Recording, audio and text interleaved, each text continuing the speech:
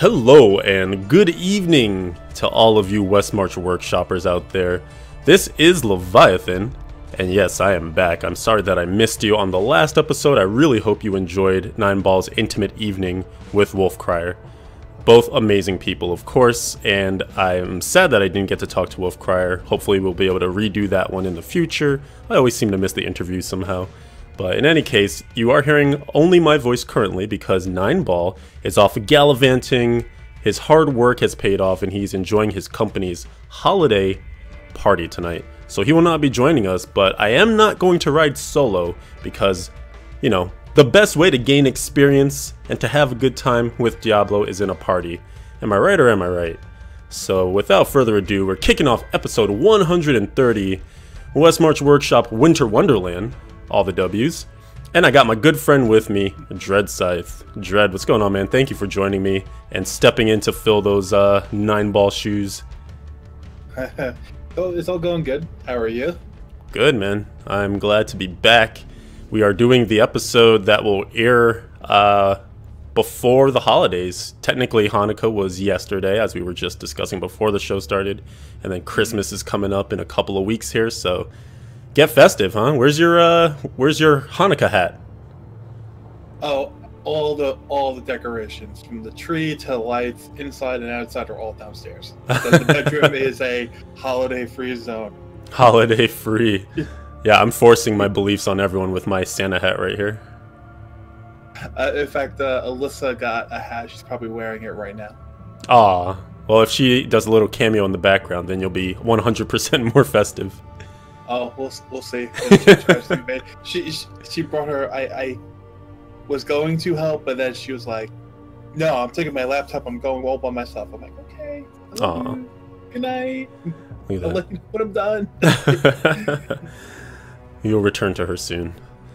Uh, so man, it's been a little bit of a while since we had you on the show. I think the last one was for the season wrap up for season 11 how has your weeks, months in gaming been? I've actually been hanging out with you a little bit this season, oddly I enough. No, we've been like, like borderline gaming buddies. This like past what four weeks this season is? Thick as thieves, yeah, man. Or is it four weeks? Five weeks tomorrow. Five weeks tomorrow. Yeah. Um, no, it's actually been really good playing with you. Oh God, you're a machine. the the rumors are true. Levi is a machine. Does not compute. He, he, he's advanced AI. Uh, he is he is the first neural network sent back in time. He is the original Terminator. Okay, I'll stop. I'll stop. Um, no, it's actually been really good. Um, I think we all had indications of what this season was going to be like. Oh, you know, all the sets are balanced. You, know, you can play what you want. You know, kind of like you know, almost like a pseudo hippie vibe to it. Like, yeah, play what you want. do, do what you want, man. Whatever. Free love. And then every then you knew this season was going to be different because people were like, no, like seriously, like I have like 90 level gems. Like, should I augment them? It's like, well, what GRs are you doing? Like, I'm doing like 95s, but like I've never been this high before. But should I? It's like all like all those kind of weird questions. Like, yeah, like shouldn't you know the answers to this? And then you realize these are all the people who were those pseudo casuals who are now entering the realm of the higher level players, and like, oh, this patch did work. Like it really did work, and it, it really has because. I mean, I, I don't want to make a laundry list of it all, but like I've beaten so many past seasonal records, it's silly. Uh, I hit 1308 Paragon yesterday in the group's review. Very nice. So that's definitely my highest by far, by like hundreds, like at least 200. I think the highest I ever got in season was maybe like 1058 somewhere around there. Oh, and so that was blew it out of the water. Seasons. Yeah, that was multiple seasons ago. Nice. I think that was the second season I played as a monk, maybe season six. Um, so that was like you know Paragon, which is a weird measure of things, but hey, it is what it is. Of course. And then uh, I got I have a GR 103 underneath my belt.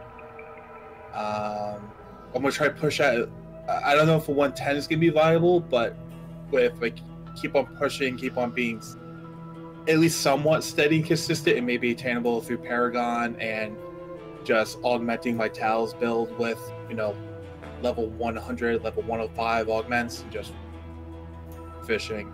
fishing. Yeah. fishing. There's always Um, fishing. So you think you're gonna push it with Tals? I've been hearing Firebirds and even DMO are both high contenders up there. Uh, DMO is is uh, DMO.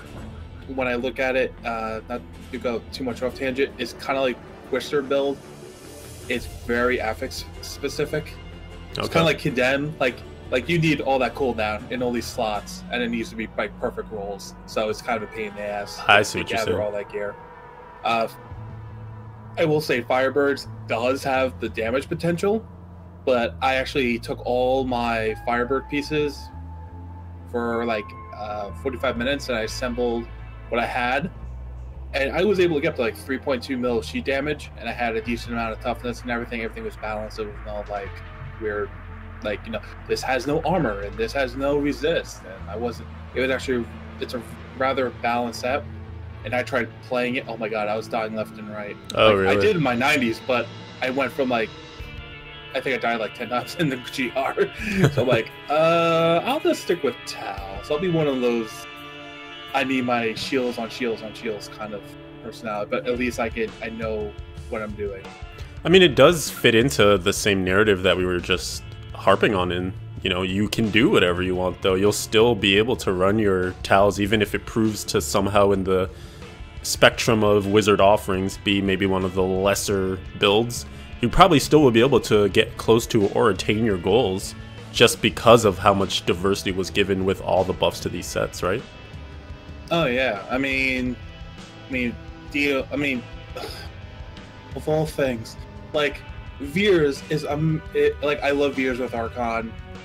That's because I've been playing three seasons of Wizard Archon, so there's probably a little bit of that mixed in. uh, but there's, then there's also like the weird facocked Vyr's Arcane, uh, no Frozen Orb build, which uses Archon to get as many sets as possible. So you have the so you're powering up your frozen orb. So you're actually not using Archon for Archon. You're using Archon as as a rotational, like it's like a clockwork um, buffing cycle that's tied to COE. So as uh, SVR uh, was basically explaining it, it's like you have this many rotations of COE in a, in a in a greater rift, and you have this many opportunities to power it up with this many average Archon stacks. This is how much damage you do. So your so your damage and what you're able to do is almost pre-calculated for you in a way.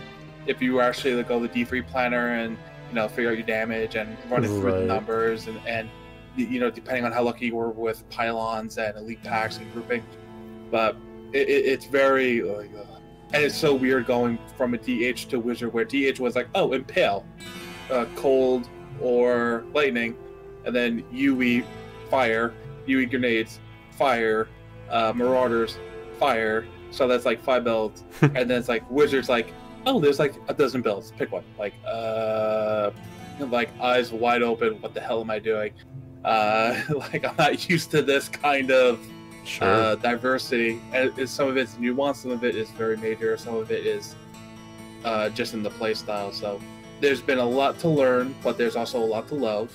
Uh, I guess just to kind of finish up it, uh, what I've done, I'm also trying to uh, master all the wizard set dungeons. You know, kind of put a little cherry on top, as well as getting, hopefully, trying to get the 110 and uh, Paragon. It would be interesting if I could lapse my non-season, which is 1423, I think. oh, you should be able to do that. Yeah, so it would be you know lapse my non-season and then shoot for 1500 at that point. and I, you know while I'm at it, get Guardian because why not? Yeah, just just like really spike like every major accomplishment you could try to do. sure. I've talked enough. How's your week been? No, that all sounds good, man. I wish you the best of luck. Of course, we'll probably still be partied up, so I'll have really Mm-hmm. uh, close tabs on how your progress is going. Uh, for me, Oh, yeah. it's you know, it's been. yeah, just so you know, uh, I still have over 100 keys. Of course you do. Yeah, that's one of the themes of the season. Is Dread doesn't stop farming keys ever, even though I tell him that at some point you should probably use the keys because they don't do anything for you until you actually open them for greater rifts. But in any case, um, Yeah, it's been a fun season, honestly. It's been, I guess, about a month since I was last on the show, which is essentially the whole season, like we're saying, five weeks of it uh, starting tomorrow. So, the Crusader's been a really fun thing to return to. I still remember all the joy that I had when I was playing Condemn in Season 1 and Season 2. Only marred, I and I have to always bring it back up because man, it grinded my gears so badly, but only marred by that mid-season slash late season patch in Season 1 but Condemn is it's been such a blast and it's weird to see it be so widely regarded by the entire community. Even when Crusader did have Condemn as its best build, it was still kind of like a niche class because mm-hmm. it was the new kid on the block. You know, first season was August and then the uh, expansion had just released in March of the same year. So people were getting acclimated to it, but no one was really looking to to be the top Crusader, I don't think. So it was still kind of in its own basket of here's what we do over here. And now it's why like everyone is like, why is Condemn so good? How do Condemn mechanics work? Like it's this almost renaissance of people discovering that the Crusader is actually a good class, a powerful class. So it's been cool where's, to kind of lead the charge. This knowledge been all my life, right? It's like the you, knowledge. you weren't an OG apparently. you can definitely tell some of the uh, bandwagoners from the original Crusaders because there are certainly, I, I would say, there's a bit of a skill gap in terms of those who've been on Crusader for a decent amount and understanding how important things like CDR, um, CDR management in terms of activating skills and stuff is to the class, and uh, a whole bunch of things that probably people do actually want to know about, but we're not going to go too long on on the podcast. Um, but just all that aside, I think it's been really fun to sort of dig back into the education mode of, you know, Leviathan teaches Crusader while trying to stream it. And I love, I love how it's been going so far. A lot of really great people stopping into the stream, um, and being part of the season too. I've been grouping with a decent amount of the community, and oftentimes other Crusaders, which has been really cool. And I haven't been able to share any gear because Dread, let me tell you, my RNG this season is god awful. there has to be a trade-off. Your RNG can be god awful, but hey, at least you don't have to farm the gear because you're playing softcore, right? Maybe that is my punishment. It's hey, uh, welcome back to softcore, but by the way, since you're not dying, we're not going to give you all the GG drops. At least not early on in the season. No, it's oh, been. Oh. If I could make a small, small um, observation, is I would like to point out that I resisted the Church of West long enough for both you and Nineball to come back to softcore. I know there were, you know, circumstances, but I just want to make that pointed out. I resisted the Church of uh, West. I don't think this is anything to brag about. This is something you should feel shame for. We've been gone and came back. And you still haven't changed your ways. We we learned to acquiesce and gain the knowledge elsewhere to round out our Diablo selves, and you're still denying yourself the the whole other half of the game. In any case, oh, I'm a denier. Yeah, exactly. non-believer. non-believer. Listen, hardcore warming is real, okay? um, yeah, it's uh, it's just a it's a fun thing to be very frustrated by drops, even though the drops, like you said, remain forever. Uh, the gloves is the slot that really is eluding me. I don't know if any other Crusader out there listening can relate, but gloves are tough because you do have to get CDR on there, and you're still looking for your typical damage stats, critical hit chance, critical hit damage, and getting all those together with good rolls on them, unless it's going to be a primal, is damn near impossible. At least for me, anyways, this season. and I see Disco in the chat, one of the other uh, streamers who is also doing some Crusader stuff this season, also agreeing that Akan Don't gloves are cursed. I'm with you, man. The struggle is real. So it's been it's been a bit of a, a, mixed bag. Definitely been having a lot of fun. Been gaining a lot of Paragon. I think I'm over 1600 right now, which is nearing already my seasonal best from previous seasons, which was season 10 when we were grouped in four player all day long in hardcore. Uh, that was 1900 mm-hmm. plus, and so I'm definitely aiming to go at least to 2K this season, hopefully beyond and this is without doing the rat runs. Like our group has really just been kind of putting a hodgepodge of we call it you know the homeless meta, the non-meta meta. We have a million names for it, but really just doing the same. The, uh, I have no mats meta. yeah, dude, doing the same thing that we've been harping on, which is whatever you want. So we take whoever we can get. sometimes we don't have a support. we just roll through anyway. But oh, it's been rough. it's been it. yeah, you can make it happen uh, if with enough tenacity and maybe some deaths along the way. So it's been yeah. fun. It's been cool to to experiment a little bit, get out of the mindset of being super super hardcore, super duper efficient. Even though I still try to drive our party in that direction. Yeah, yeah. Dread has no comment. uh, but well, I will say this much: I've got into the habit on after the first and second run of just looking at my stash and going, okay, repair, salvage the blues and yellows real quick. What in here will I never care if it rolls primal? And I'm like, oh, this is garbage. This is garbage.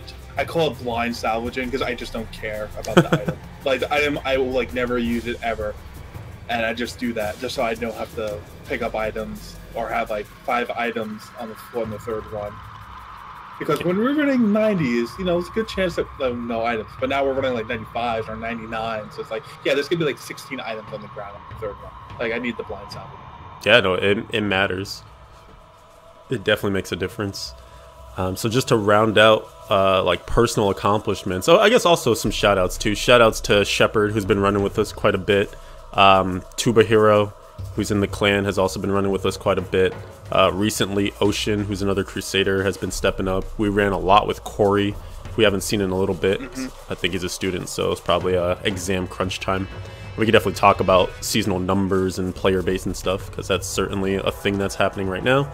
Um, and I'm, I'm I almost shouldn't have gone down this road because I'm certainly forgetting other people that we've been playing a decent amount with. But it's been it's been great to kind of have that nice uh, cadre of people to pull from, and all mostly clan members too. Uh, really mm-hmm. exciting to see the activity and have everyone kind of reaching their own goals and stuff. I just recently. Yeah. Go ahead, sorry. No, I'll say just uh, yeah, it was, it was, it's been really cool to play with you, but also play with you know like Shepard and Knight, and uh, I think Mark's been in there a little bit. But the, like those are people I usually play with. But the kind of you know, rope them playing into the the Levi meta. yeah, there's definitely and, uh, a few different. It, it, actually has been really good that we haven't had to look outside of the clan. That like the clan is there, it's it's full, and we really do group together. So we're, we're the clan is serving its purpose. Definitely, definitely. Could always be better. clan features, please. But it's good. it's definitely good. Mm-hmm. Uh, I also wanted to give a shout out to the other side of um, the clan too, who've been doing more of the true meta stuff. Nod Nodulogulus, which I'm probably butchering his name, Flailed, and oh goodness, Zensai. Uh, I've been taking Chris Card's spot in their group, who is their witch doctor for trash killing, and it's been interesting to kind of slot the Crusader into a pretty much meta setup of like the Z Barb, the Z Monk, and the Pestilence uh, Necromancer, and so mm-hmm. far on that, we pushed uh, 115, which isn't anything to write home about, but just kind of cool to be able to do that level of Greater Rift and, you know, still have a Crusader mixed in. And mm-hmm. I think mm-hmm. we can go further. Like, I haven't even optimized for groups at all, because, again, drops aren't happening. Um, but that's something I hope to experiment a little bit more with with them. And then on the solo side, just to fully wrap it up, I just did a Greater Rift 110 on Monday or Sunday. I think it was Sunday night, which is really cool because that was kind of my seasonal goal uh, wanting to get that high. And now the rest is cake. I actually was running just before we started the podcast a couple of 111 attempts. I got a 1502. And I screwed it up so badly too. I did not play well, but I have a bunch of excuses. My hands were cold. I just come home. I was tired. I wasn't. Yeah. So, anyways, I will get it though. I will get it. I'm I'm pumped to keep moving forward and see how it goes. So that's mm -hmm. pretty much it. That's season 12 in a nutshell for us so far, and I think what we can do now is sort of branch outward more, speak in a general sense of season 12. I want to grasp what your feeling is in terms of maybe the diversity, because you know you are going to put together these uh, power listings and these graphs and stuff at the end of the oh, season. But just what you've seen across, and you know those numbers are going to look crazy, but what you've seen so far, maybe in you know personal perusing of the boards? Are you surprised by any particular classes advancements or maybe not as good advancements? Like a lot of people are saying maybe DH and Witch Doctor seem to be lagging behind just in terms of what they've cleared solo yeah, so far. Um, I guess from just general overview, I mean, through our groupings, through seeing other people, through uh, watching Adam, hi Adam, uh, watching SVR, Blood, you know, all those guys, Riker, uh, seeing what they're what they're talking about. Also, what we're also noticing through like you know top 25 analysts. Uh, now we're about a month in. You know, it's kind of it's it, it's I guess appropriate is for lack of a better term. So like just say, like one month in and two months in, and you know at the end. Um, yeah, I would say it seems like DHs and witch doctors are kind of relaxing a little bit. Um, unless I'm mistaken, even though necromancers are in there for the rat runs and that's a popular thing, um, I don't. I, I think it's kind of like I don't know how many people are actually playing necros to play necros. Hmm. Um, I. Whereas I think a lot of people are playing monks to play monks that can because they can actually do solo content high now. Right. Uh, but they're also very good for the meta. So I think any class this patch that can actually do solo content high wise and can slot itself into the meta, like the Crusader Condemn build, if you can get to trash, even a 115 doesn't sound like that high compared to where the meta is. That's getting you at least 110 augments easy, 115 116 if you really do quick runs and you really go with those we'll say 60% chances but they're really like 30 with the way they're given out. Sure. um, rolls you can still get a really good condemn build and have like 115 augments and everything and really push yourself solo. So any so i was uh, just continuing. Any class that can slot itself into the meta or is already part of the meta plus has a good one or two uh, solid build for solo pusher i think it's going to excel this patch which isn't really different than any other patch cycle is that that this cycle there's such an abundance. Like i'm running the group builds well, i mean we're running 99s because of the way the upgrading mechanic works. So essentially running hundreds. I wouldn't have been able to do that last patch. But you don't see demon hunters really at all in for players. I mean witch doctors are in there but they can be replaced so easily by witch doctors um necromancers. Sorry. Right. Um, so yeah, I think there's going to be a lot of shifting. Like I'm imagining the graphs that I have being all nice and neat, and then it's going to be like spaghettified at the end of this season with like where all the classes have gone, and the So, way uh, all the information is going to be uh, skewed. I think you make a great point. It's something maybe people aren't quite keying in on just yet is that there are these crossovers of people who are especially trying to be really efficient are probably playing things that they don't want to play. And I think when you talk about the rat runs, and for people who aren't um, well informed on those, a rat run consists of a four player group that's doing really fast greater rifts. We're talking like two to three minute clears. Uh, you have two Rathma's Necros that are using the Singularity Skeletal Mages, and they're just making, you know, the biggest, baddest Singularity Mages they can make to clear the rift as quickly as possible. And that's supported by a Z Barb and a Z Necromancer. A Necromancer creates the health globes with Land of the Dead, um, which they pretty much have 100% uptime on. And then the Barb is a pickup radius Barb, which is legit just there to make sure that the Necros don't get, you know, flung around by uh, affixes from the elites. So, you know, always constant uptime on Ignore Pain.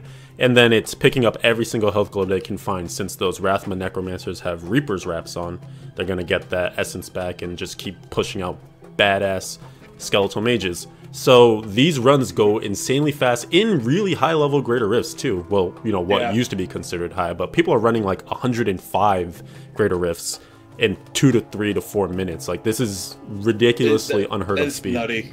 Yeah, It's nutty to watch them. Like, you, like you, you don't watch them. You're just kind of in like a, a prolonged sense of amazement that is happening, and then It's- you, you're like, I want to do that. Yeah, it, it looks really sick from the outside in because they're just speed. At first, you see it and it's like you know the little bit of progress, little progress. You're like, okay, this doesn't look that great. And then once it all just kind of sets up and they zoom, just the progress bar. You just watch. Don't even watch the clear. Watch the the purple, and it just goes, goes, goes, goes, goes, and then the guardian comes up and it just, you know, essentially gets one shot. But when you have 20 uh, skeletal mages targeting that one single target.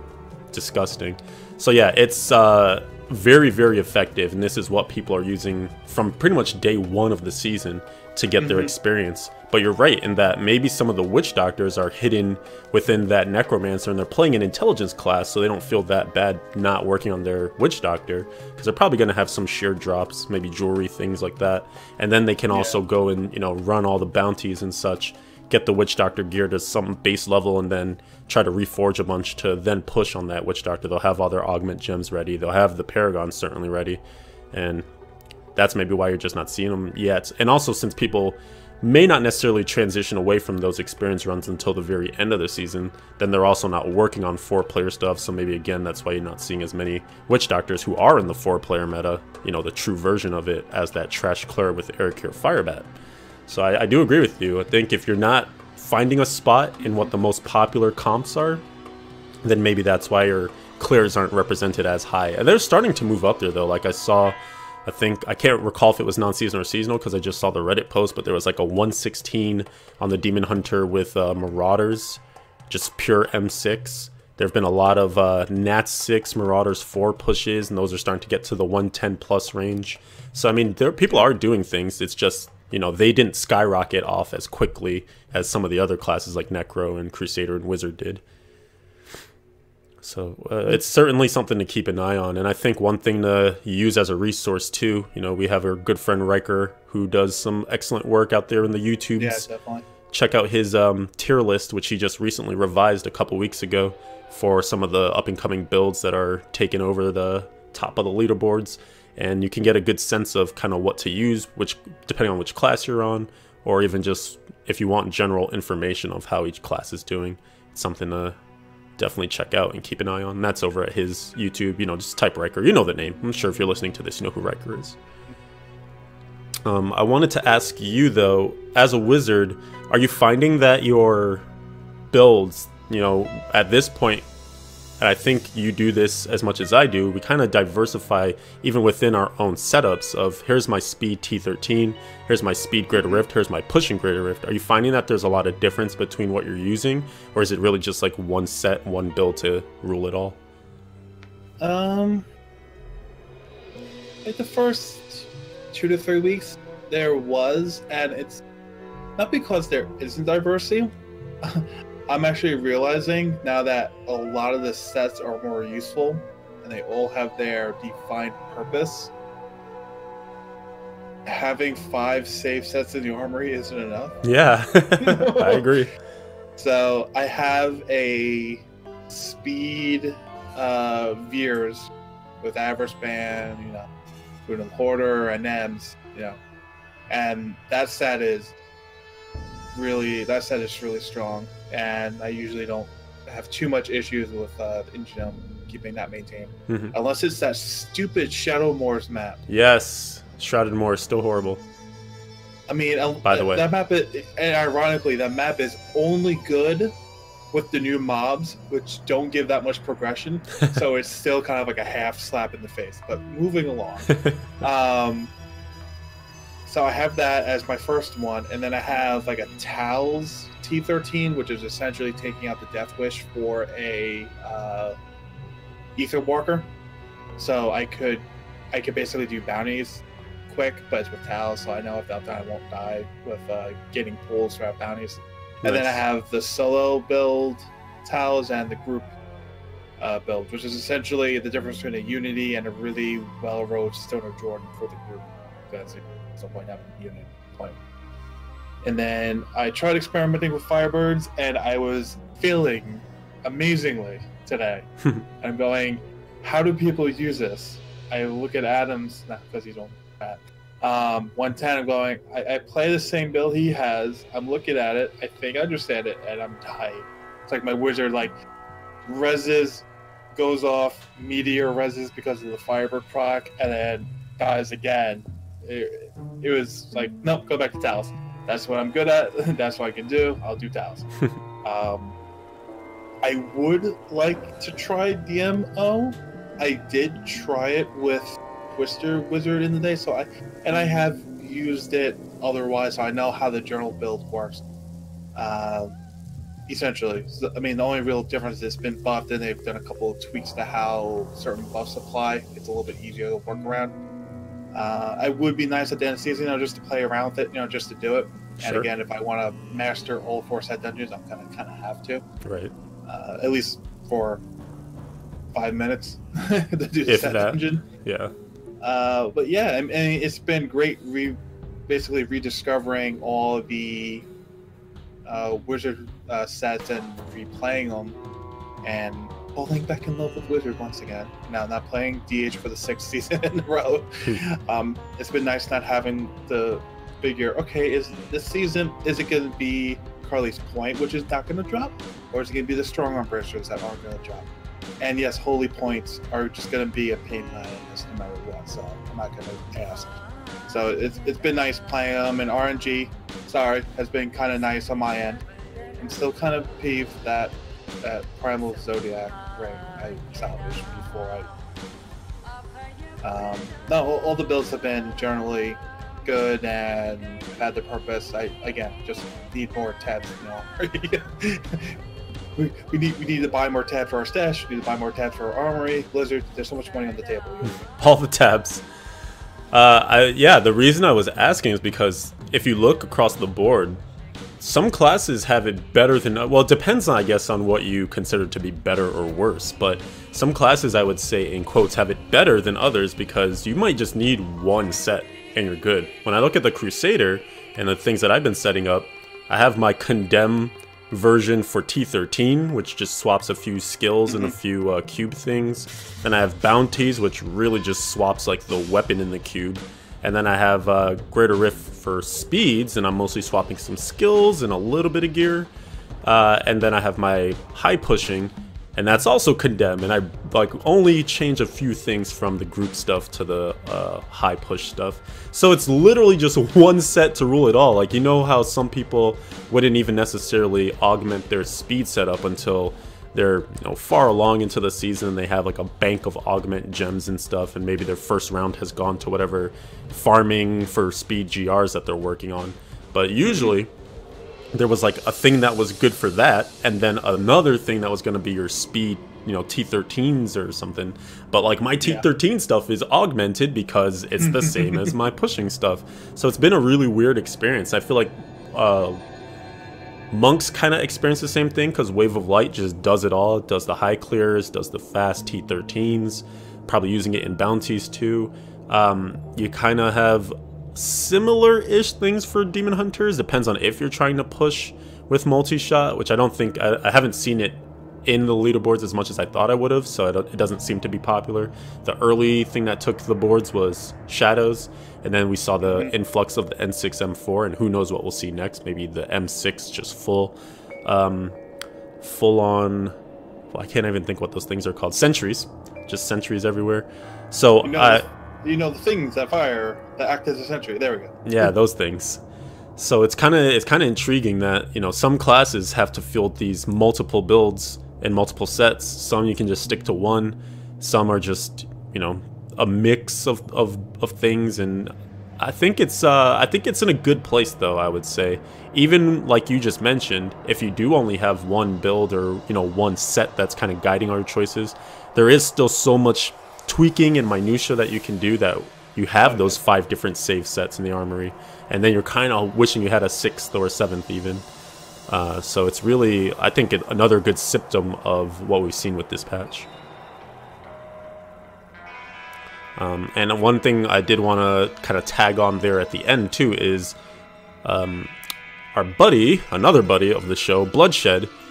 Right before the season started, he put together a compilation of speed builds. So Riker kind of handled the high side of things with the greater rifts, and then Bloodshed kind of utilized the same ranking system, and then he did the speed builds that you might look to run in terms of like your fast GR clears or even fast T13 clears.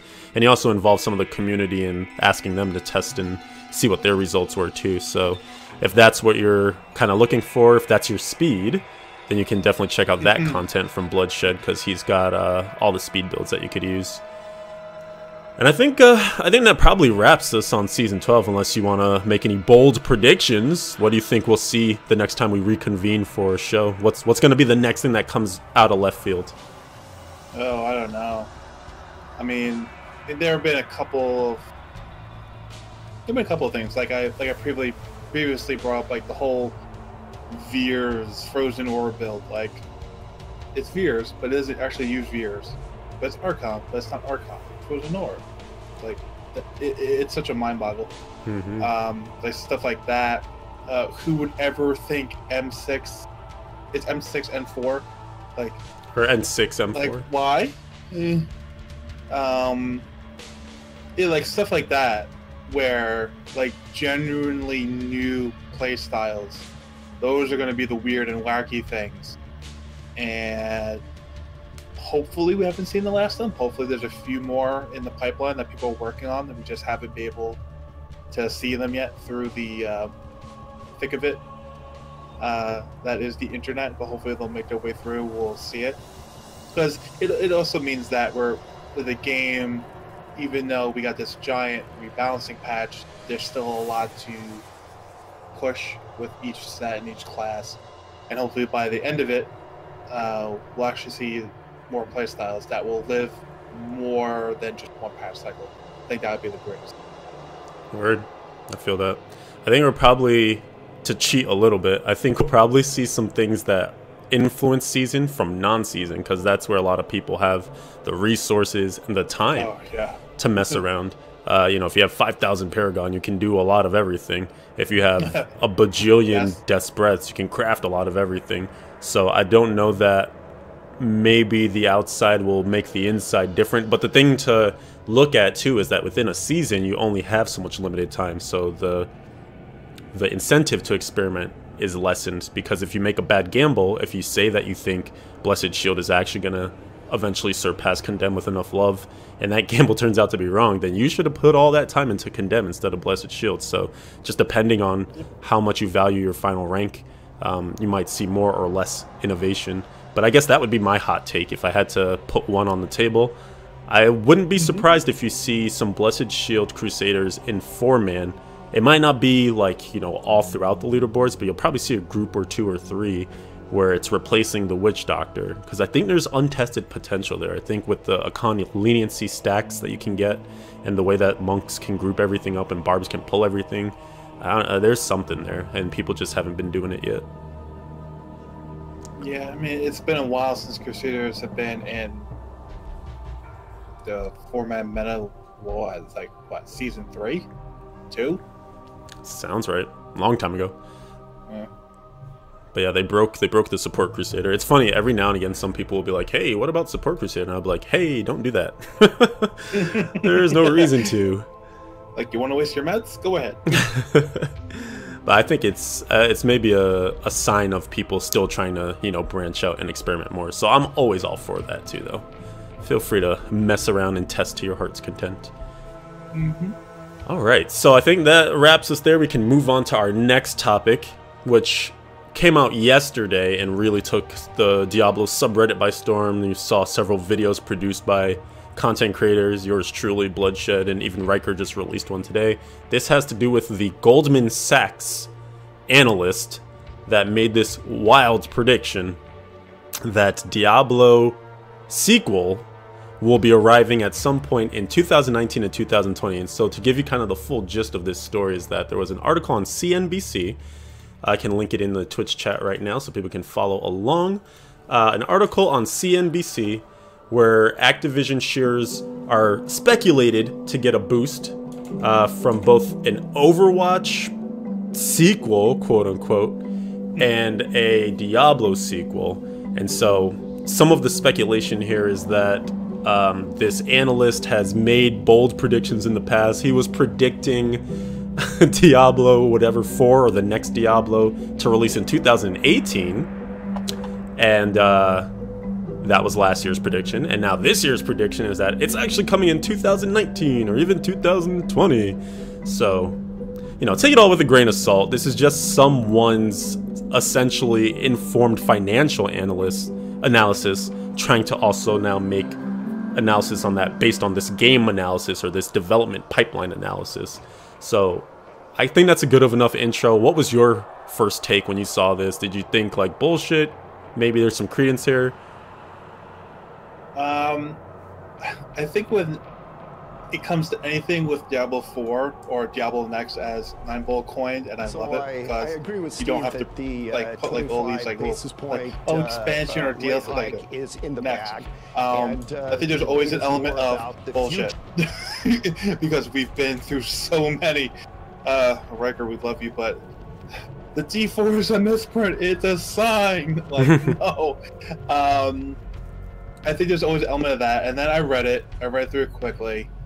Um, went through it. I'm like, oh, okay. And then I remember like what I said, what I've said a couple of times uh, in your stream chat whenever the topics come up.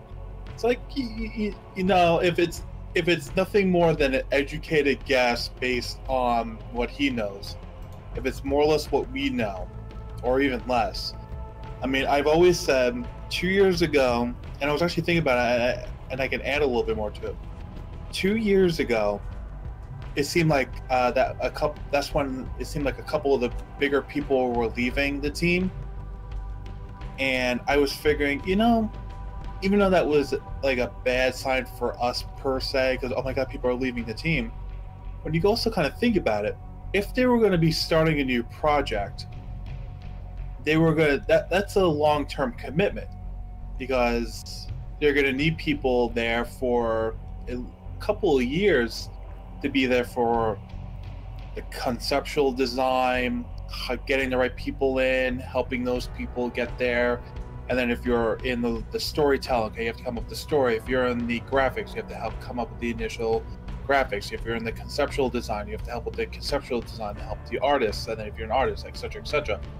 So if they they were starting the concept of Diablo 4 two years ago, then those people may have left because they didn't want to have a commitment to that because maybe it just wasn't their jam anymore. Or maybe they want or more more importantly they wanted to, to pursue more creative outlets that they haven't uh, tapped themselves. Which makes sense because a lot of those people if you track them down have moved on to other game development studios i think uh, brian Creakin, if I'm saying his last name right at all The story guy? uh, I think he moved over to um, Paragon, and I think he's helping with story there. A couple of people have moved over to uh, Bonfire, which if you look, which if you go to Bonfire and you look at their staff page, it's like seventy-five percent plus ex Blizzard employees. I'm looking forward to what they put out just for that fact alone. Um, so when you think about that two years ago, it actually makes a lot of sense because if people are leaving, that's because they may want to pursue more creative outlets. They didn't want to give that kind of commitment because they felt that they did it already, and they just wanted to move on, which is good because then they get new blood in there, and then there's fresh ideas, and you're not tied to the way things were done, which is also a, a good point. So then I'm I'll just quickly go through everything else. So last year is when uh, we started getting a lot of job postings. Not not the game director one, but a lot more like uh, supervisorial or higher level, but like still like you know Conceptual. artists and everything like that. And then this year is when it seems like the team felt like it like we, we had no real indication, but it felt like it kind of it's beginning to coalesce and with like the ever so lovely wording that Brandy gives us like you know there, there may not be nothing now but stick with us there's things in the future. Hmm and then you combine that with okay if two years ago is when they started conceptualizing and started looking for the core team last year is when they got the head people of each department. This year is when the core team has probably been assembled and they can start moving forward next year is when they can start um, going through and uh, maybe getting like the actual game concept done rather than being on on a whiteboard. Actually, have something there. Maybe have something by next year's BlizzCon to announce, and then the year after is when they have the alpha slash beta, and by the end of 2020 is when we get the game.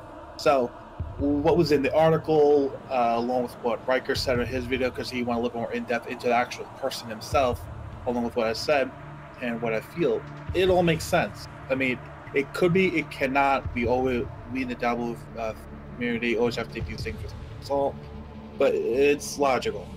I mean, even last year it was like, oh, something could happen. Like, it's ripe for an expansion. It's two, three years after Reaper Souls. Yeah, sure, why not?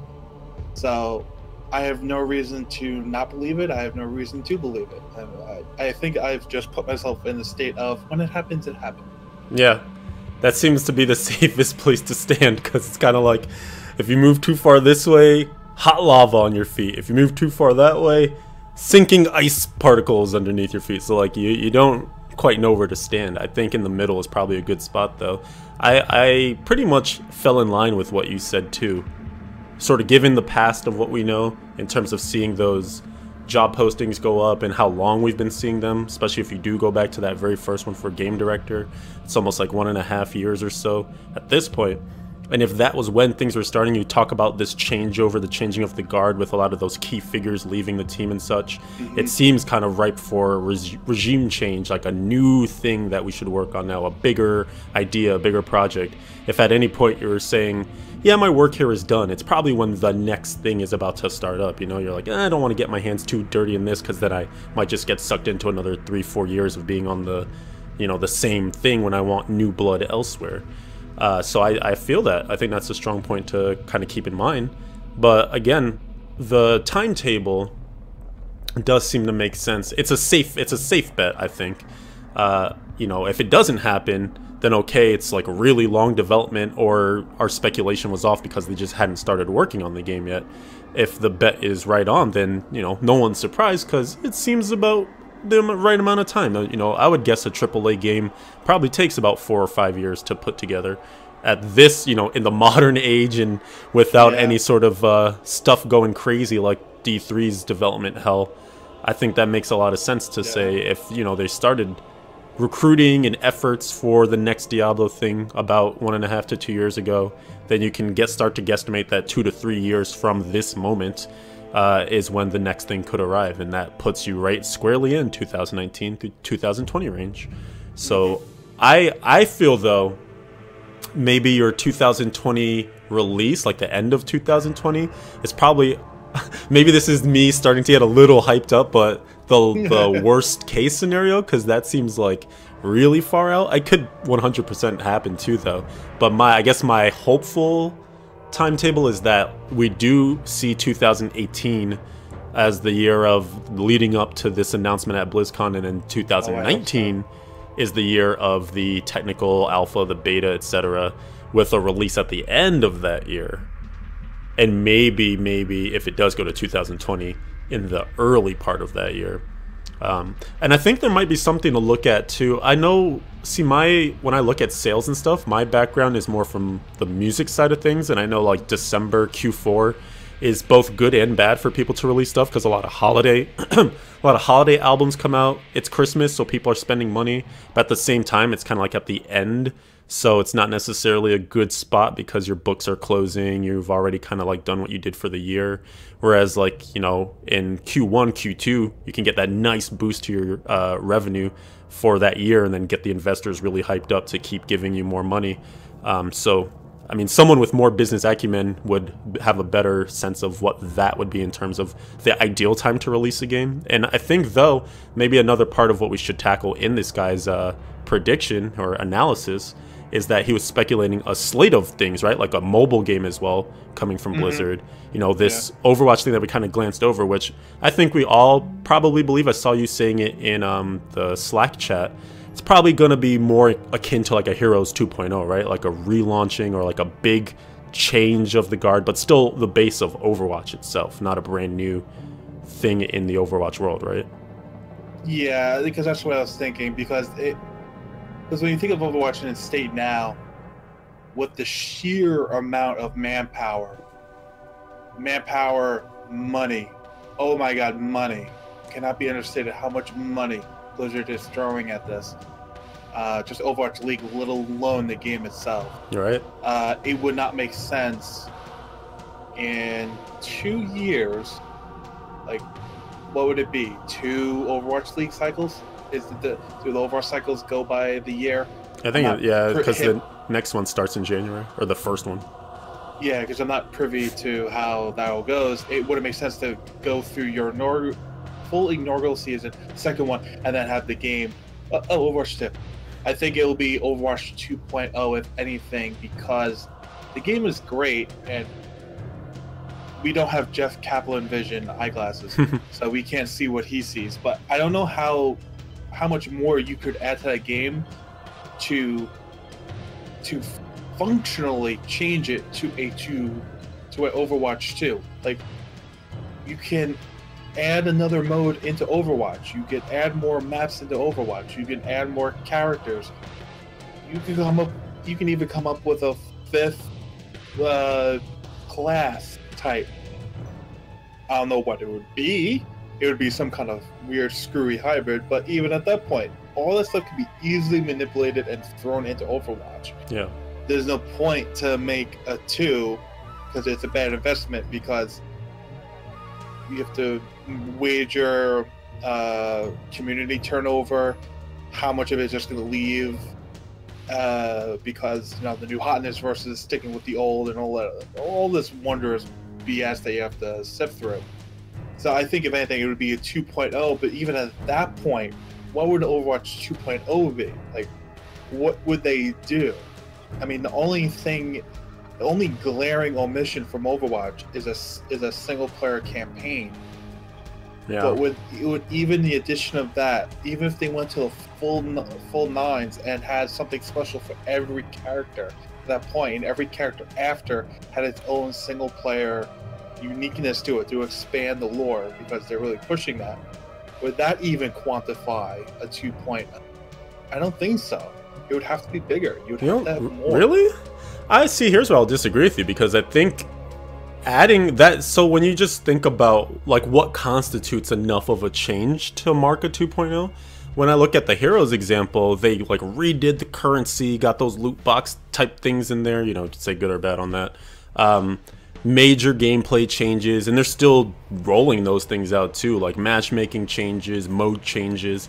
And I could see something like like imagine if they do a single player campaign, they like add in sort of an arcade thing where now you can do the winter thing all the time or you do all these like funky modes that they've been trying out that have been seasonal and stuff all the time or just give the controls over to the players more like almost turn it into like that starcraft arcade thing um, you know if there's if there's enough of a sea change where this isn't what you could do with overwatch before and more players flock to the game or at least the players that are there are playing longer and in a more diversified way maybe you call it that. I mean, at the end of the day, it's Blizzard's choice whether they label it as such or not, and players are going to react to think, you know, that makes sense or it doesn't make sense.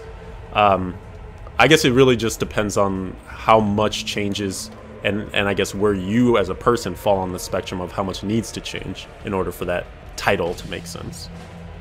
Yeah, I mean, the, the reason, I mean, my biggest reason for saying that wouldn't be enough is when you think about Overwatch is a multiplayer game. So adding a single player component, even as wondrous as it would be, even as expansive as it would be, because there would be people who get it just to play the shit out of every character and every character after, and that would be a huge commitment on Blizzard's aspect. Can you imagine having to do 30, 40, 50 heroes worth of unique single player content. Uh, at that point, that would be a huge time investment. But I think Overwatch is the only game that can probably get away with that. But it's still the single player aspect. As soon as you play it, I don't want to say I don't want to use the term it's dead content, but it's dead content. The only thing you have left to do is the multiplier. Yeah, you can use that analogy elsewhere. All the Blizzard games, it's not perfect. But I think you have to No, no, no, no. I'm not letting you get away with this. Star this is the StarCraft model. Like StarCraft expansions essentially exist to further the story and give you more single player campaign. And then they add in always been that way. That's the difference. But we don't but Overwatch is brand new. It has no model to follow. It could go any which way and call that its expansions or whatever. Uh, okay, I- I'll give you this. I'll give you an example of what would actually get me back to play Overwatch for a little bit. For a little bit. And it actually comes from Unreal Tournament. there was a mode in Unreal Tournament called uh, I think it was Onslaught, and it's kind in a way it's kind of like Capture the Point, except it's more expansive. And the way it works is there's two bases on the other side, kind of similar to what's here, and then you have to capture linked nodes from either side of your base. And then once you capture nodes, you can go capture the next one. But at some point, think of like a straight line that has dots on it. You have to capture all the dots, all the bases, until you capture the base uh, right before the enemy's base, and then you're allowed to attack the enemy base's core, and then you uh, basically try to destroy it, get it down to 100, and then you win but it's a tug of war. It's always it's cyclical. Mm-hmm. It's not like how Overwatch is now, where okay, you get point A, okay, you got it, you hold it forever. No, this is a, a tug of war. You can go back and forth. Yeah, it can go longer, granted, but I think Overwatch could easily get that moded because they already have the point captures. They have big enough maps for it, and then they could actually expand the concept with you know maybe in place defenses or expanding uh, certain characters' abilities with unique map power-ups, like you know the double damage that was in Unreal Tournament, or the shielding mechanic, so they can make those maps feel bigger and more expansive. That's a mode that if it came in with a PVE, I would quantify that as a 2.0, along with all the new skins and all the new sprays and everything because that would be massive to have that kind of scale, especially if it went from a 6v6 to a 10v10 in that mode because it can handle it. That would be great because then you would have something huge and you would also have more maps to look forward to. So it's something you get now and it's something you get more maps in the future, along with having this massive single player edition. That would be a 2.0 in my mind. I feel like reworking everything. Okay, I feel like basically you're only you're looking at it from a far more personal point of view than a general consumer point of view because it sounds like to me that you just don't care for PvE that much. You want a different sort of way to compete against other people. And so if that's thrown into the bucket, then suddenly it's enough. But you just stated in the thing that, and this also, by the way, we're like an Overwatch podcast right now. We'll get off this topic in a second. But you just stated John, that we're sorry. it'd be an easy enough thing for them to implement versus all the hard work that would go into a PVE. So it sounds crazy to me to say that PVE alone wouldn't constitute enough to mark a 2.0 with how much work would go into it and how much you would be able to get out of it. I I don't know. I just feel like Uh, it, it, depends on how objective you want to be about it. Because if something appeals to you and pops into the game, then of course you're like, wow, the value on this. This is such a 2.0. This is a huge change. But if I'm coming in and all I want is single player and I don't care about any of the other competitive modes, then they could add as many of those as they want. And to me, the PV would be enough to mark a huge change to say it's 2.0. Yeah, I mean, it's not that I don't disagree. I mean, yes, it, it's a huge time investment, but I'm also trying to look at how, like 30,000 feet in the air kind of view. Like, yes, it's a massive time investment.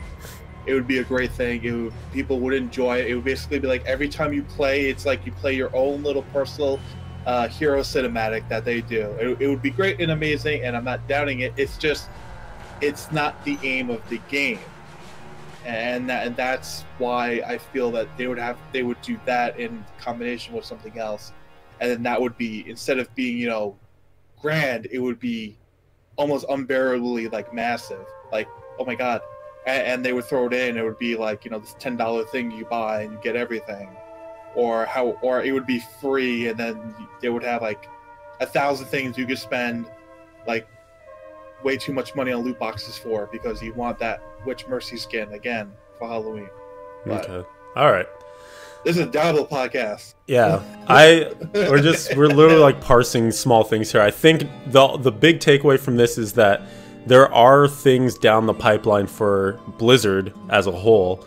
And I guess the reason I brought that back into the conversation was just to say that maybe the release date of whatever the next Diablo game is doesn't even matter because it would just fit into the production slot of you know, here's our mobile game. We're going to plunk that in early 2018. Here's the Overwatch thing that's like mid 2018 or 2019, sorry. And here's the Diablo thing that's late 2019, and then we have wiggle room to push any of those around or something to that effect. Um, I think one thing that can kind of tie in our next topic to this speculation topic is also what's happening with the current game.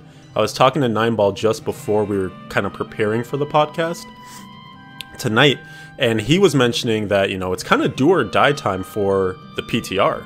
Because normally we see a PTR yeah. rollout, you know, a month or so into the latest season that's active. Uh, and that would be like this week. This should have been yesterday if it's going to stick to a Tuesday schedule, or some point during this week if it's a little off day, um, or next week. And that was that's really it if you look at the windows, because we all know that Blizzard kind of takes a nice holiday break, and Christmas, like we said at the outset of the show, is coming up in about a week and a half now. So you have next week to throw a PTR into the wind, or I don't think it's going to happen at all. Like we know the January event is coming. That's not going to need a patch or anything. That's just something they turn on. And uh, if there's no PTR, then what does that mean? You know, are they then working so heavily on whatever's next that there's just no more patches? Or are we going to see a longer downtime between patches? Or like, where does your sense fall within trying to read into whether we have a PTR or not? I mean, what you said is right. I mean, if it doesn't happen tomorrow, I don't even think it's gonna happen. Well, it could. I don't want to say. I want to use absolutes. If it doesn't happen tomorrow or Friday, it could happen next week. But if it happens next week, it's gonna happen like that Tuesday because they're gonna use Tuesday and Wednesday and Thursday to make sure that it's stable mm. because then they're going to be gone probably Friday, Saturday, Sunday, and Monday. And since Christmas, you know, cradles is on that Monday, it, it more or less cradles the weekend. And then, as you also as you said, I mean, Blizzard's most of the people are probably going to be out with vacation and everything until probably the second week of January until everyone's back in and I think last year the PTR was delayed a, a week just for that reason. Hmm. Uh, or there, there was something delayed for that reason because oh I think it was because uh, something was on a was a holiday on Monday so uh, Wednesday became the new Tuesday I think that's what it was. Um, but yeah, like if it doesn't happen tomorrow, I mean it's kind of sketchy if it happens next week just for stability and monitoring reasons.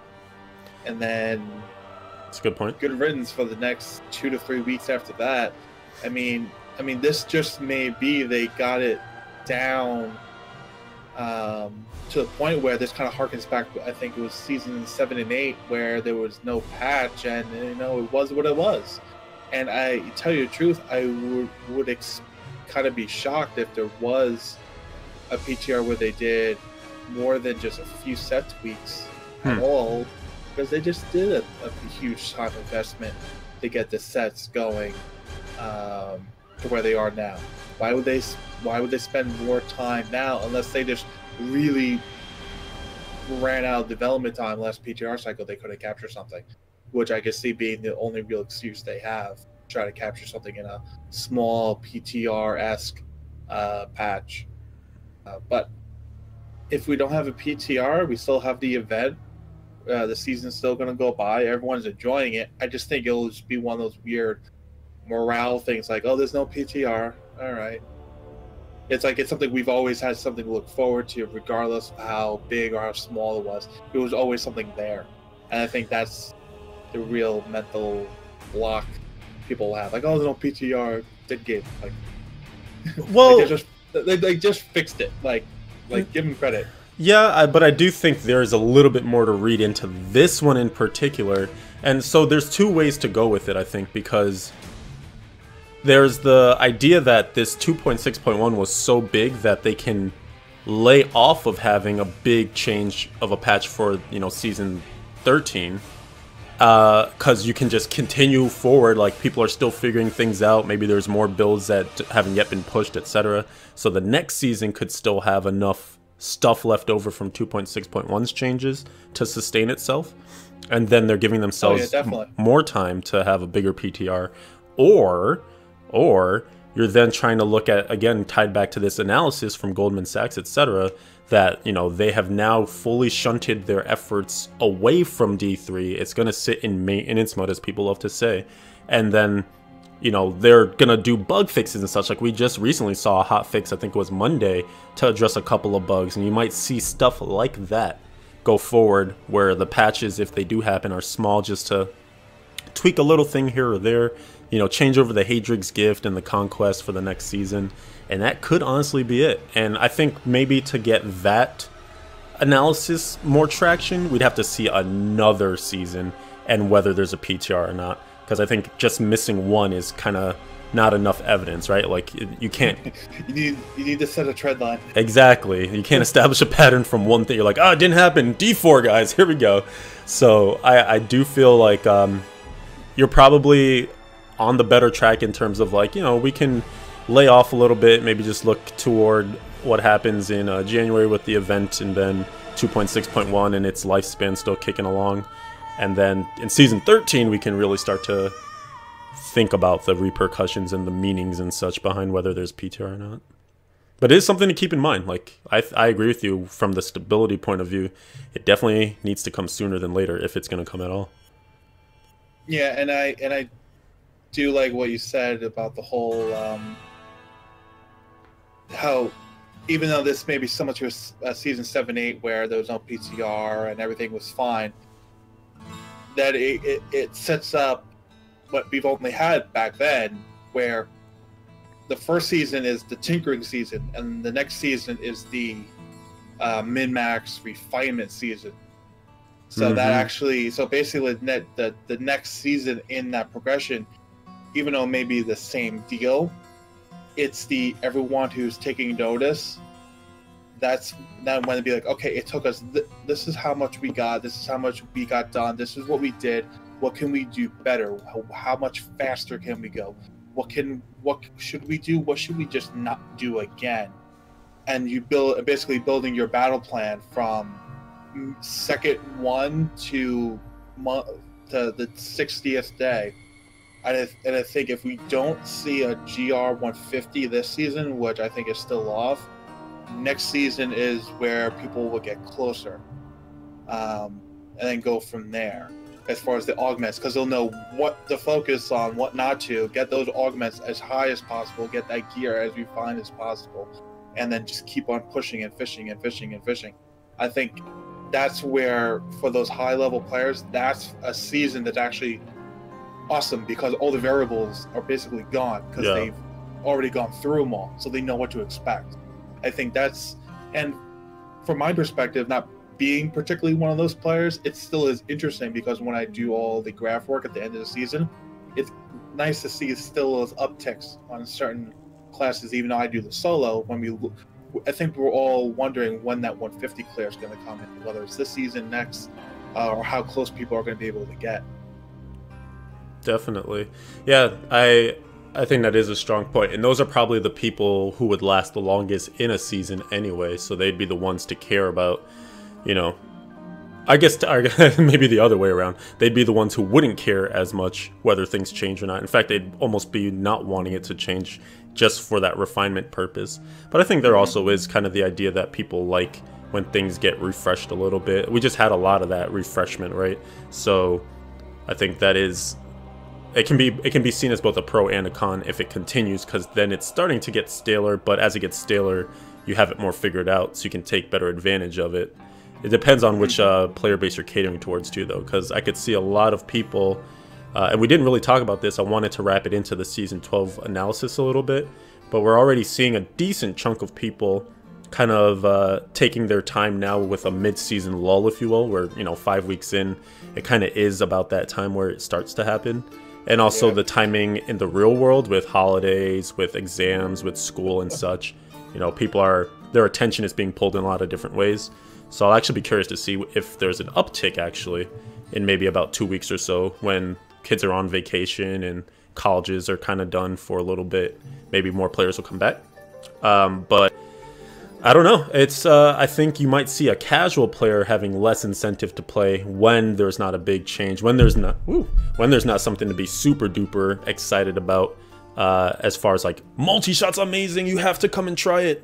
Next season is like, well, it's just as good as it always was, but maybe you already tried it. So I don't know what the selling point is exactly. Besides, like, here's your new Haedrig's gift. You can start with it right away. Um, mm-hmm. So that's something to consider. I think this, though, unless you have any more points on PTR or Goldman Sachs, but I think this is a good segue jumping off point for another topic that's tough to cover because uh, I think it's easy to get very frustrated about it. And uh, yeah. Nine and Wolfcrier last last episode covered it a bit, but we're talking about botting. We're dancing around the word, but we're talking about botting, cheating in Diablo 3, and kind of the fact that it's at its highest heights, it seems, right now.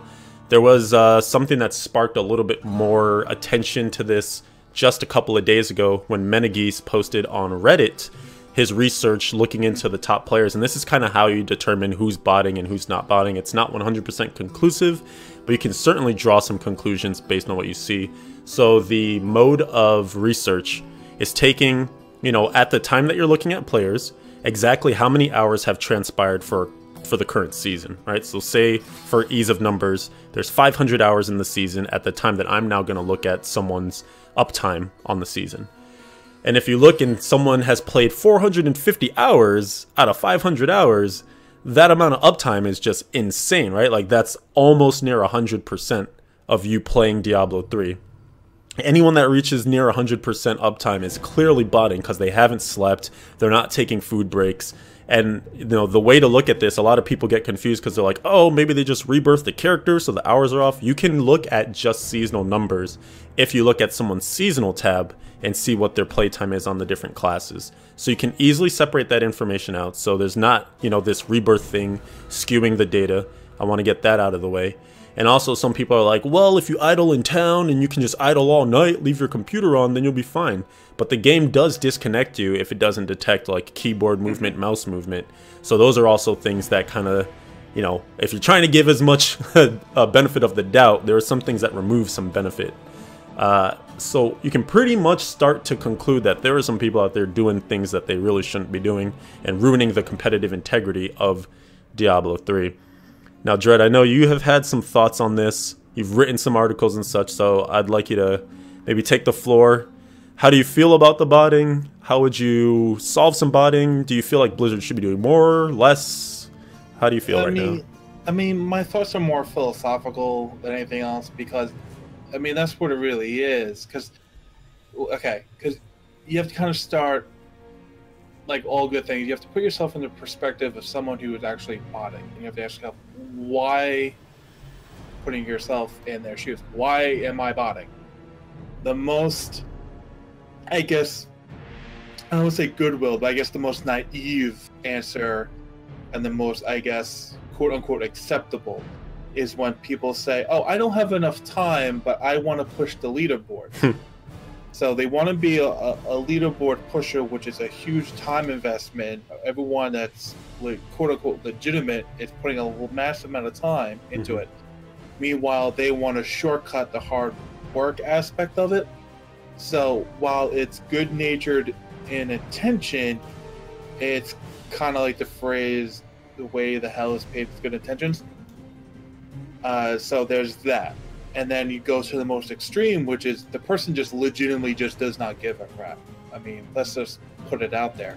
I mean, people linking certain people on Twitter linking certain primal images where we see Turbo HUD icon in the screenshot. It's like, oh, you just don't care because you don't even bother looking for that in your screenshot. So, you, when you start putting yourself in the mentality of that, and then you go, okay, why are those kids? So why are they botting? And then you have that, and then you go, well, what are they gaining from botting? Like, okay, they're gaining Paragon levels, and then this is kind of harking on what uh, Levi was doing in Maine. I mean, for the longest time, actually, and this is the article I wrote, is the best way to fix Paragon is to get rid of it. Don't put caps on it. Don't do like one main stat after 800 because that just trivializes Paragon. I mean, it kind of goes back to other uh, things like that. Don't put diminishing returns on it because then you just make it mathy and complicated for no reason. Is you just get rid of Paragon, you take all the stats that you would gain, like your critical hit damage, your critical hit, and all that other stuff, and you put it back on the gear, and you spread it evenly between where those stats normally fall. And in the article, I came up with a way to figure that out formulaically wise.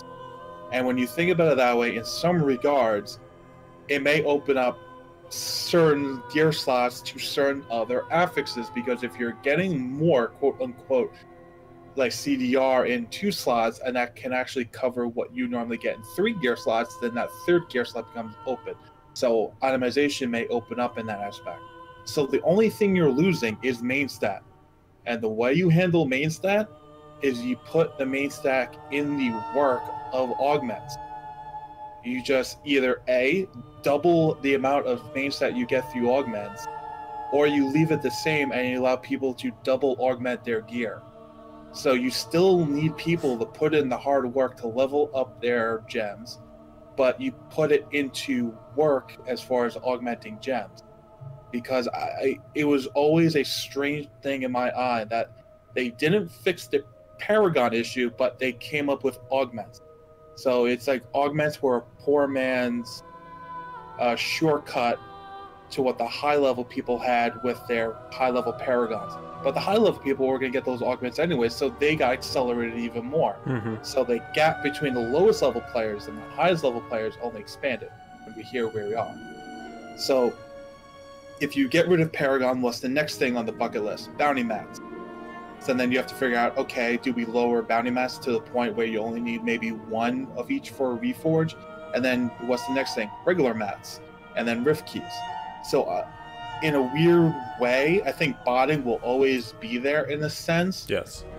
But if you approach it from a development standpoint and just minimize why it's botting to the point of you're really just dumb for doing it because you can just play and get everything, then you might as well just do it. But at the same time, I mean, this topic can go just anywhere, and it is, and this is why it's so hard. Like, do you do weekly ban waves? Like, that's nice and all, but Blizzard really can't announce it because the way the, the way botting works and the way it always has been in traditional hacking and making programs and detecting them is the people making the hacks are always and forever will be one step ahead of the people trying to find them Because if the tech, because they're the ones coming up with the technology, and Blizzard's the one who has to try to come up with tech to detect it. You can't have like it's like the chicken and egg philosophy. That's that exactly what it is. So it, it, it's a tough topic. It would be nice if you know they put in the seasonal previews and the first looks, there was a thing at the bottom about botting and hmm. Turbo HUD saying like this is ex- explicitly illegal and against our terms of service agreement. So it was defined in an official blog. Yeah. It's not going in with a ban wave. It's not doing that, but it's stating that these are bannable offenses. We are going to scare you shitless now to not use these. So at least that's a step in the right direction. And then if they did a ban wave mid-season and one at the end of the season and pull those people from the leaderboard, that would be another step in the right direction. It's never going to be perfect. That's the thing we all as players have to realize. But there are many steps that could get us there. They just have to be taken. Yeah, I think you covered a lot of things that I wanted to bring up. Um, because again, like reforging the systems, rethinking the way that the game's developed. Right now, the game is a botter's paradise because there are a lot of systems that work in synergy with each other to make mm-hmm. botting a very lucrative thing to do, and it gives you everything you need to be the best on you know your server. With between getting Paragon, which is just going to increasingly uh, give your character uh, more power also, bounty mats, which essentially allows you to have infinite chances at perfect gear. Uh, and even like keys, which then gives you less time that you have to spend farming keys, which is technically a very oh, yeah. inefficient thing to do since you're not doing greater rifts, which is where all the experience is. And I Sorry. heard. Sorry, tapping my wrist on the camera. I heard even now though that there are bots that also just legitimately run greater rifts overnight too. So even if like let's say you run your bot, you get a bajillion keys, you're not maybe using all those keys in your rat runs, then also that night you can say, well, I have keys. I'm gonna run my bot to now run some greater rift solos on my Crusader, which I, I guess the botting is being mainly done for this particular event with Crusaders because Condemn can roll through pretty high level greater rifts very quickly on solo and they're just getting even more ancillary experience there too. So they're just always improving the status of their account while you're sleeping or dealing with your kids or going to work, doing things that keep you away from the game. So their advantage is huge. Mm-hmm. Doing things that minimize the advantage, like even uh, Dropadewski's in chat saying, you know, change the system in Paragon, even if you don't super overhaul it or throw it all out, to just giving you plus one main stat after a certain amount of Paragon gained even that would help because it's then lowering the advantage you get, right? Like if I'm a legit player and my expected Paragon by the end of the season is 2,000, right? And a botter is getting, you know, upwards of close to 4,000. Well, that plus five main stat balloons their advantage. Oh yeah. To two to 10,000 main stat, right? So if it scaled back to plus one after 1,000 or plus one after 2,000, now they're only gaining 2,000 but you have literally taken away 80% of their advantage. So they'll still have it. Like there's still incentive to bot, like you said, there always will be, but you're just making the advantage of it or perhaps the allure of it a little less great, especially if we're assuming that at some point they might actually get caught and have their account actioned. Uh, so I think I think there's probably a lot of different things that could be done. One thing I always see people state is wishing for a greater frequency of bans. I think across multiple seasons and seeing no bans, hell yeah, there should definitely be an increased frequency. It should at least mm-hmm. be one per season. But you said it best in that botters and bot makers in particular love information, and that's how they stay one step ahead. So if you ban weekly, you're just giving the bot makers so much more information on how your detection works, what you're looking for, what they know you can detect. And so they're just going to continually be able to iterate their bots to escape more and more detection, and then eventually you, you lose the race as uh, anti cheats by not being able to um, keep up. And I think one thing to also consider too, and it's something that people don't want to hear, but Diablo 3 is a competitive game, but it's not esports. And I think a lot of the anti cheat efforts, when you also know how Blizzard works and you know that the anti cheats team supports every game, there's a lot more incentive for the anti-cheats to funnel their energy and their dollars and their um, time on the esports side of their offerings because if there's a big bug or a big cheat that's going to persist throughout their Overwatch, then guess what? That hurts your Overwatch league. If there's a big bug or a big cheat that's getting into Hearthstone for some reason, then now your Hearthstone World Championship could actually be affected by that. And there's real dollars on the line with these players' livelihoods at stake, mm-hmm. investors, sponsors, etc. So I think, you know, as much as people say it, Diablo really is kind of low on the totem pole when it comes to uh, resources given towards it. And it's not to say that it should be any less important. Like, they have that orc statue with those, you know, placards around it stating their core values, and one of them is play fair. And I think we should be playing fair across every IP that Blizzard has, including Diablo 3. But right now, there's really no incentive for people to play fair because they just feel like they can do whatever they want unchecked. And like you said, to the point where people have the audacity, they have the gall to just like post screenshots or even YouTube videos. Like I had a war in the Crusader subreddit uh, a couple of weeks ago where some guy's just like, hey, by the way, check out my 112 clear, man, it's sick. And everyone's commenting like, hey, how can you have all those information things on your skills and stuff? It's like, oh, it's just Turbo you know, it's like a cool resource you can use. Like, no, you can't. What? We're just actually talking about this in the open now? You can hide it. Like, just lie to casual me. Casual HUD use. It's like, oh yeah, I'm on the HUD like what? You can you can hide it. You can make a video where you actually you're still using it and you're clear but i can't see it when you show me your video. But people are just like they don't even care anymore. Like oh yeah no you, like check it out bro. I got turbo HUD going. It shows me that pylon right over there. Sick. Like it's it's pretty ridiculous man. So yeah i mean and it's one of those things. And this is the thing that we as a community because I, I, I told myself to go by this tenet in this uh, principle every time I try to think about an issue in the game. Any anything that's a problem in this game, no matter how much it seems one-sided, no matter how PO'd and pissed off you get, is always 50% the developers and 50% the community. Because while it may be only up to developers to come up with a solution, implement it, so we have a solution to a problem we see, we have to be the ones to articulate the problem, be graceful in our presenting of the problem, and be forceful in wanting the problem to be done, but not be complete assholes about it. Hmm. and also understanding that when it comes to this particular problem, it is not the Diablo 3 development team that is responsible. There is an entire different segment that handles this.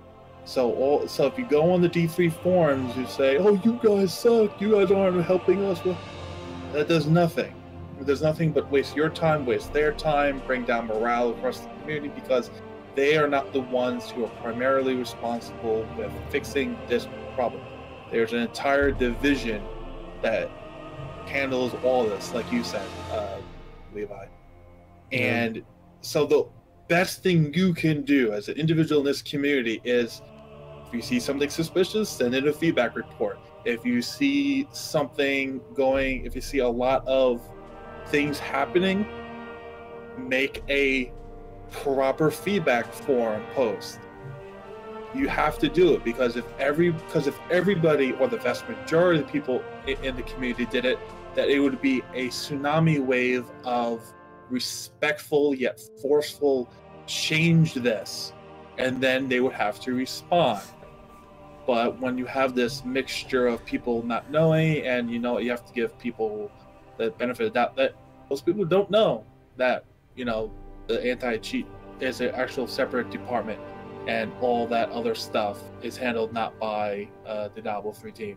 But it's the same thing with WoW. It's just, but also like you said, how big is Diablo compared to WoW, compared to Overwatch, compared to Heroes, mm-hmm. so on and so forth. It, it has to be, it has to be properly directed and it has to be properly carried. Otherwise, it's like the old it's like the old phrase shit in shit out. And that's as best as you can uh, expect. So yeah. that, that's about it. I think i think one thing to maybe uh, at least rope in here as we start to conclude on this though is Dropadusky made a point in chat that one thing to keep in mind even like i think the community itself understands that maybe diablo's not the biggest priority at the moment and hopefully it will be with the next thing uh, but there is certainly cachet, especially going forward, if you're even going to have a next thing and you want this community to support that next thing, to keep the community morale up, right? So I think you're seeing people frustratedly expressing their derision for Blizzard not being active enough against bots and against cheating and anti-cheat measures. Um, and I think you definitely make a great point in that we should probably word those uh, conversations better in terms of like less verbal attacks and more just like here's my reasoning on why I want you to do something about this. Uh, you know, there are no anti-cheat forums to go and post in, so they kind of have to post where they post. But I hope that it is done in a in a manner that's productive and not necessarily super negative, because that, like you said, only stands to get everybody down. Um, but it's it's I think there's a huge thing here where the community itself is starting to crumble a little bit uh, when we're not concerned about, you know, where's the news at for the next big thing, then all we have is the game that we currently have. And if the game that we currently have is being overtaken by cheating and unchecked, you know, disregard for what's supposed to be right, then what's the point to even stick around? Now I don't know what the future is. Now the present is really crappy maybe I'll just go play something else. And so I think there yeah, is. Th- there's a there's almost like a, sorry to interrupt, but there's almost yeah. like a amplification uh, mm. that kind of like as you said when there's not a lot to focus on anything that would be small before is just magnified, magnified. amplified yeah. and you just focus more on it and it just becomes a bigger part of your day and your mentality and I feel that it's very unfortunate that it, that this is happening now, where I feel the Diablo 3 community is actually finally rebounding back with all the great streamers that are there. I mean, I think there's like a good dozen and a half, two dozen that are just constant and are partnered and they do their thing and there's no real animosity going on. There's no like people looking down on each other. There's still great content creation. In fact, uh, our podcasts are coming back to life. It's not just you guys and you guys. Um, but it would be a shame if all that's bouncing back and the game itself gets a little rocky or more than rocky at this point. So I, I think we need to really just kind of go, could it could we just do a few more things? That would be few small things, but it would make a tremendous difference. Yeah, well said. I think that's probably a great spot to leave this conversation at. You know, all we can do is all we can do is wait because it's not really up to us. We've voiced our opinions. We've let them know how we feel. Uh, some some of us with stronger words than others, but I guess yeah, that's it's a good point good point to leave that. So hopefully this conversation isn't one that we have to continually keep having. Hopefully there will be something that rolls down in 2018 to dissuade people um, from doing those things. Uh, with that, is there anything else news-wise or anecdotal that you would like to bring up before we head into our community section of, of the show? Hey, kind of, kind of a little staticky towards the end. Can you just repeat that again? Sorry. I was just asking if there's any last wrap up things you want to toss in there before we hit the uh, community section. Uh, oh, not right now. All right. Taking it for the go. Good, good, Keep good. So, with that being said, you guys know that one of our big parts of the show, of course, is reading all those lovely emails that you guys sent us. But we don't have any this week or this show. So, I know that it's getting towards the uh, end of the year here. What we would like to do is encourage you to send in your missives at westmarchworkshop at blizzpro.com or even over Twitter since you can tweet 1 million characters now, by the way. Uh, and let us know kind of how your 2017 went overall. Were you excited when the Necromancer finally released? How'd you feel about BlizzCon this year? Were there any sort of marquee moments from the different seasons that we had over the year? Uh, you know, give us sort of a history of how things fared for you, what you're excited for in the future, if you believe in any of this analysis or forecasting of what's next for Diablo and such. And uh, let's wrap up the year on on a, on an interesting note. Let's hear from you guys. Keep those comments and emails and things coming in. And we'll also probably do some recapping as well on the show official, some top tens, maybe some highlight moments and things like that, uh, to really you know do our end of year justice. But that being said, we do have some items of the week. Hey, look at that. He did the echo. All right. So I'm going to hit up a couple of those. We have four entrants this week, and they are pretty darn cool items. And one of them, I'm so happy to announce, is the return of an old tradition where we used to always showcase, no matter what, every ancient furnace that we ever got. Because back in the day, and this this tradition started so long ago. At this point, it's almost irrelevant because most classes either don't use a furnace anymore. Hello, Crusaders, or uh, you know they're just they're just there because they drop all the time now since they made that change with 2.6.1 for those rarer items to fall a little bit more frequently. But in any case, we have an ancient furnace in here and I'm actually bad right now because I forgot who sent this in. Hold on, let me make some adjustments. Uh, this is where Nineball crushes this. This is how you know who does what on the show because now we're at a part where I'm like, ah, what do I do? Here we go. So this is from Baz Freeman and he sent us in this lovely furnace. It's ancient, like I said, 3,917 deeps uh, with 1380 intelligence, 1298 vitality, chance to deal 22% area damage on hit. Secondaries of monsters kill monster kills grant 223 experience, and I believe that's 46%. This is so small on my screen. 46% chance of, or not chance, 46% increased damage against elites. Oh, and usually man. that's that 40 you know, to 50% look, range. It's like I look at that and it's not perfect, it's ancient, and like it's almost like it's almost like I want to say it's like like cute in a way. Like, oh, that's like uh, cute. That reminds me of like Firebirds, and, and, like you know, in like season one, we were like, oh my god, a GR38 was like amazing. 41, you were a god. Right, and, and you were dying like, for a furnace. Like that, that area damage. We rolled 10%, you'd be like the embodiment of of like wizard kind at that point. uh, those days. I know it's it's weird how much has changed, and that's kind of why I love like the end of the year and like the recaps because even over the course of a year, so much can change too. I mean, this one in particular will be interesting, like we keep saying, with how much 2.6.1 brought in. Mm-hmm. Next up is a Dayntee's binding, and this is a primal, sort of back to uh, reality, back to life here in terms of items that you should be looking out for. Some Dayntee's Binding Love here. This is a primal one, like I mentioned, 650 intelligence, 650 vit, rerolled for a 15% life roll, and a 516 armor, and then a secondary of some more monster kills granting experience, and then of course the lovely power on this where you gain an additional 50% damage reduction when there is an enemy afflicted by any of your curses. This one comes in from Funktropus, you guys know from the ridiculous emails that are often mm -hmm. sent in. Uh, and he did put a little message with this says, Avast! I'm so excited I don't even have anything weird to say. Magic puppies have trotted down from the high heavens and sprinkled my proverbial fire hydrant with their RNG effluvium. That's a new word.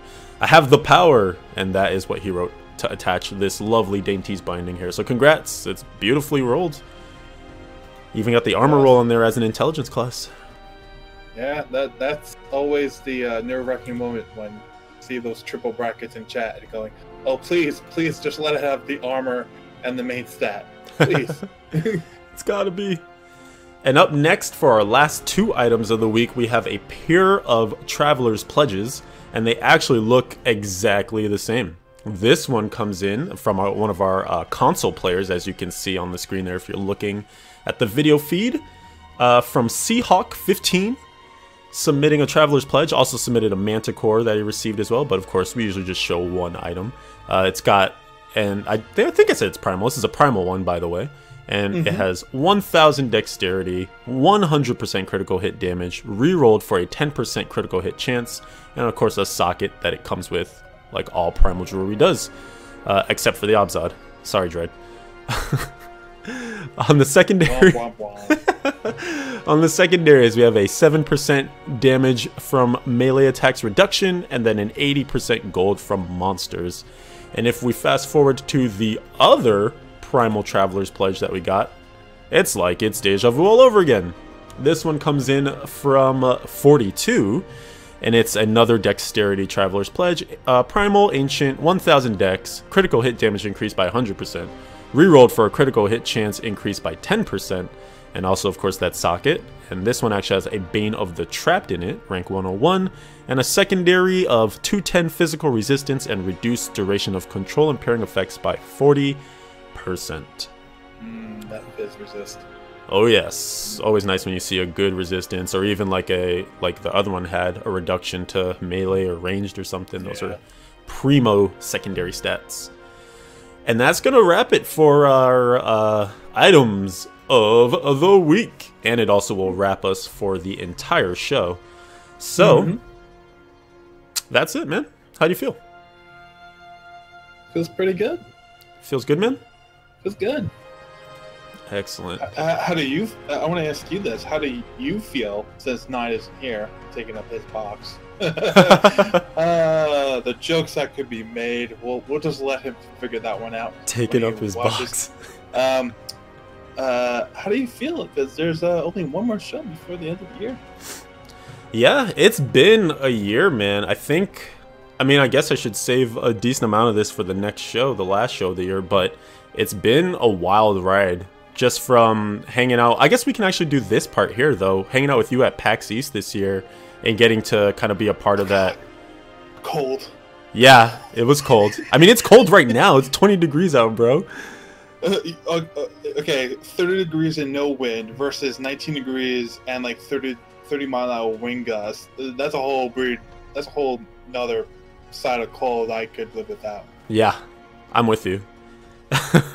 but that was just a cool kind of you know something that makes the year a little different right because we probably won't ever have another year like that again where it was sick to have that event you drove all the way up for it Uh, we got to hang out with Brandy.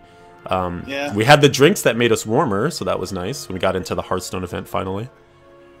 yeah, after standing around for One what, billion years. 45 minutes, and we got up, and it's like, yeah, they're gonna be done like half. Time to go. But that was cool, and Uh. then to like bring all that info back, be part of the reveal of the female necromancer, be under embargo for the first time, which is kind of different and interesting. Um, Yeah, and I remember, I don't know what I did. I think I claimed Hooky on that Monday or Tuesday or whenever. No, it was Monday. I think we, it, it, and like, like, thank God I did because we needed like three hours to get like the articles and the image and all that stuff edited and done to to get sent out. And we did we did an awesome job on that. I think we actually cared a lot more than most of the other places. Like, yeah, we're gonna do like this little two paragraph write up. Like, yeah, like a female character. Ooh, there's all these new skills that we only saw six of them. mm-hmm. On, try a little bit more. well, I mean, that is going to be your major difference between like, hey, we cover everything. We're PC gamer versus like we love Diablo more than anything else. So, I think we did it justice though. Terrio would have been proud. and yes, replay. Uh, Levi nine, myself, and uh, well, we saw it all at BlizzCon when they had the initial reveal, and then they had kind of like a pseudo secret. We are underneath an embargo until X until X stipulated day and date and time at which we could then release. Uh, it was the female necromancer, and it was all the melee-ish uh, abilities at the time. Uh, there was like a like whole like little mini PowerPoint presentation. We were allowed to play the demo once, only once. So you had to take your time because it was a regular rift. So it was like, yeah, I'm gonna make this rift last like 15 minutes. This shit. Um, really try everything out. But it was a, it was a really good event. So Yeah, it was it was awesome. Uh, so that's definitely a highlight. Um, of course, BlizzCon is always a highlight, and the fact that we keep making the trip bigger and longer and doing more things. I don't know how we're gonna top this year's next year, but I guess the Diablo year- announcement would certainly help. well, that and I think next year seriously has to be a streamer house. Like it's always a joke, house. but I think like the sheer amount of people we know and like especially the amount of people that are willing to actually go, I think we could. It would just be like, oh, we're gonna be like needing a lot of money for Ubers. definitely. No, there's because we won't be anywhere near the AMP convention center. At that point. yeah, maybe time to rent a car at that point. Yeah, Um, yeah, probably. Yeah, I don't know. I'll turn the question on you though. Like, had since you won't technically be on the show, maybe you'll do a write-in or something. But are there any other year in review sort of highlights that you had, or things that you're proud or I happy mean- of that you produced? And keep talking, but I'm gonna go get something too to show on stream.